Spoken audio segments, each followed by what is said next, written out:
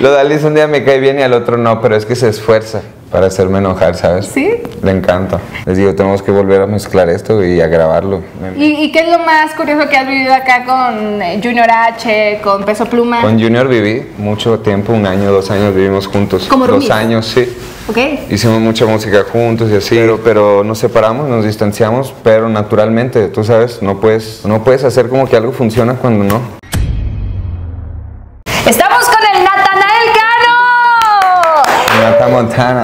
Nata Montana, ¿cómo estás?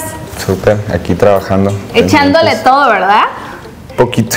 Cuéntame de esto que se viene, Nata Montana, porque justo estás estrenando, hay grandes colaboraciones, mi Nata, y, y ¿qué significa para ti este álbum?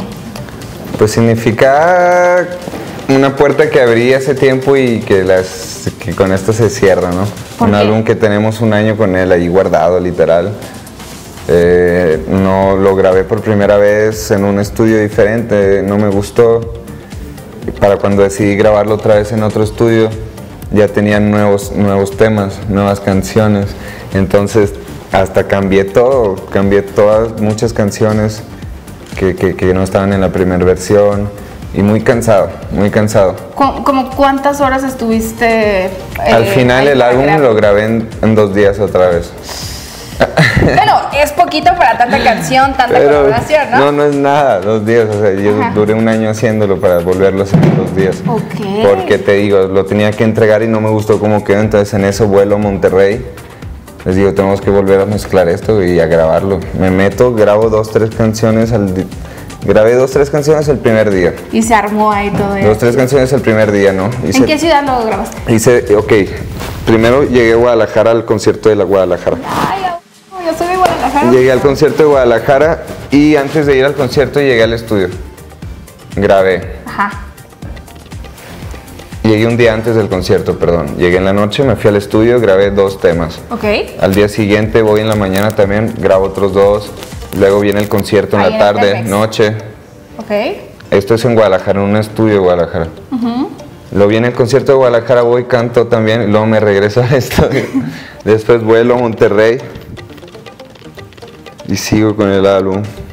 Ok, y Entonces fueron mientras- tres días, pues fueron tres Como días, dos tres días ya prácticamente Y eso lo tengo documentado, todo eso. ¿En algún canal? Yo lo tengo documentado, va a salir en, en mi canal tal vez, o, o- o en el tráiler del álbum este. Ok. Así donde yo estoy frustrado de que no va a salir el álbum, no va a salir, cancela todo, cancela lo de Spotify, cancela todo. ¿Y qué fue lo que te dio así como las ganas de decir, ah, o tiene que salir? Va a salir si lo grabo otra vez, le dije, ¿me entiendes? Y vamos a hacerlo desde cero. Eso es Entonces, pero metí voces desde cero. Ok. Lo que ya estaba era la instrumentación. Y entonces ahí tengo esa película por ahí guardada para los fanáticos que la van a ver pronto. Y ahí estoy yo, ¿no? Entre conciertos, entre estudios, entre jeringas en la nalga. ¿Por qué? doctores. O sea, de que te bajoneabas y era como de, ayúdenme. Sí, me bajoneaba y, y- y la garganta se te inflama mucho. Entonces, y hay, hay medicina para eso. Te inyectas, te desinflamas la garganta. Hay, otra, hay otras inyecciones para las que te den más energía, más vitaminas. comer La, bien, la ¿no? Bedoyecta, me gusta mucho la bedoyecta. Pero huele horrible, ¿no? ¿Bedoyecta? Sí. Nunca lo he olido. En, en capsulita huele feísimo, ¿va que sí? Nunca ¿Va lo sí? olido. Me la inyecto. Ah, ah, te- no. Pero cuando ando de tour, te digo, cuando ando de tour. Sí, esta es mi, mi- mi medicina de tour. El doctor, desinflamación de la garganta, igual en inyección, y mi bedoyecta en inyección. Arre. Y el suero es la última opción. Como porque sí, no- me, me- me- da miedo. Pero siempre lo hago, pero, pero la inyección es más para mí. Oye, pues qué chido que te cuidas. ¿Comes bien cuando grabas o qué comes normalmente cuando estás así de que cantando? Yo como muy bien, tengo ¿Cuál mi chef, tengo un chef personal, pero lo tengo en Sonora. Personal, todo el mundo quisiera eso. Pero lo tengo en Sonora. ¿Y no te acompañan las giras? Mm, pues es que me pudiera acompañar, pero es innecesario.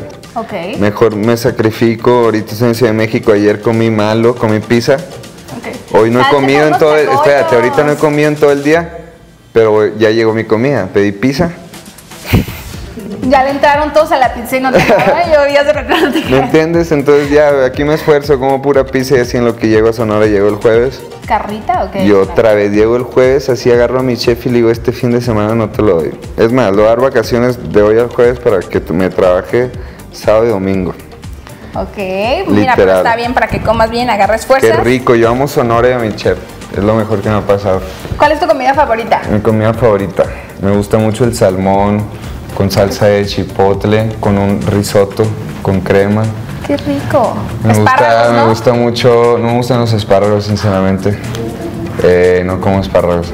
Ok. Me gusta mucho las calabazas con queso, frijol y tortillas. Qué rico.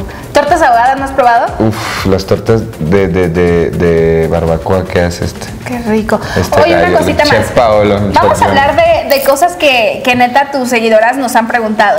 ¿Qué onda con este nuevo corte de cabello que es acá como de príncipe? ¿Qué rollo? Sabes, Eh, para mucha gente es nuevo, pero para mis amigos que me conocen así es siempre. Ajá. El nata se peinaba así desde la prepa, ¿me entiendes? Ah, Pero siempre he cambiado mi look. En la prepa, de hecho, hay un video por ahí en YouTube.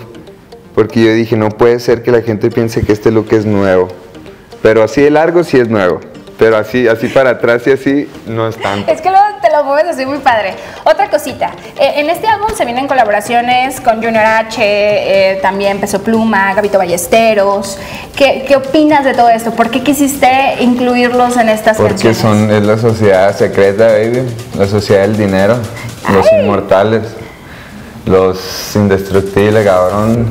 Los extraterrestres. Tienes, a, tienes a- a tus amigos, se- notan muy cañón y te voy a decir algo, hace poquito también sé que una, una de tus grandes amigas también ha estado con nosotros platicando, ¿Quién? la Odalis. Ay, mi amigo. Ahí estuvo con nosotros platicando de maquillaje y todo No, es bien bribona dale eso. ¿Qué es eso? Lo Dalis un día me cae bien y al otro no, pero es que se esfuerza para, para, para hacerme enojar, ¿sabes? ¿Sí? Le encanta. ¿Qué, qué te puede hacer enojar a ti? Así de que estás normal y alguien, un compa. La Dali sabe nomás, luego se lo pregunto. La Ah. Dali sabe, no, es que se la lleva subiendo memes míos, eso es lo que más me emputa. Que está hablando conmigo así, está hablando conmigo de compas así, ¿no? Y de repente veo su historia y salgo yo, así todo acá, ¿no? Y en un meme. Y yo digo, pinche Dali, ¿por qué, güey? ¿Por qué promocionas eso? No eras mi amiga, estábamos hablando hace poquito, ¿me entiendes? Entonces es una bribona. Ok. Ah, ¿Y, y qué es lo más curioso que has vivido acá con eh, Junior H, con Peso Pluma? Con Junior viví mucho tiempo, un año, dos años vivimos juntos. ¿Como dos años, sí. Ok. Hicimos mucha música juntos y así, pero nos separamos, nos distanciamos, pero naturalmente, tú sabes, no puedes, no puedes hacer como que algo funciona cuando no. Entonces, naturalmente, por la paz de cada quien nos separamos. Está chido también, ajá. Obvio, ¿no? Yo, y cuando nos separamos y todo, siempre lo que yo traía en mente con Junior, lo que le decía era, enfócate, papi, enfócate, porque en ese tiempo yo era el duro, ¿sabes?